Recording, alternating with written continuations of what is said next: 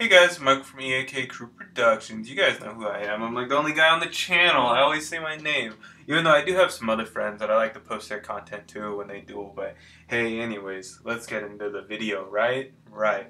So, I've been posting like a week. I don't know. I just haven't been into Yu-Gi-Oh that much. I found out one of my coworkers likes to play Yu-Gi-Oh. Maybe I'll do a duel with him or something and I'll post that up. But you know, I just haven't really been on Dueling Network either. And I, have been playing um, Fallout New Vegas like crazy, man. I love that game. I'm probably gonna get the DLC for it too. And then I've been kind of busy because of work.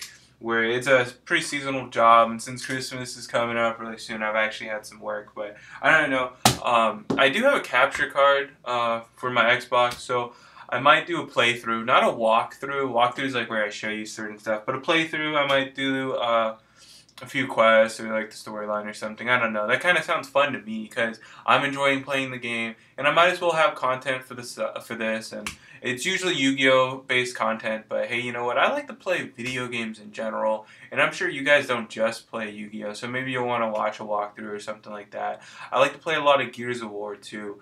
I doubt I really upload anything Gears of War based unless it's like a montage or something. But you know, I'm not constantly capture carding. You know, I'm pretty decent player, but I just want you to know that there's going to be more Yu-Gi-Oh content coming up pretty soon. Uh, like even though I'm not really like into dueling lately, I mean I have all these different decks and some of them are fun, so I'll do them later and stick tuned for uh, just different video games and stuff in general. But yeah, bye.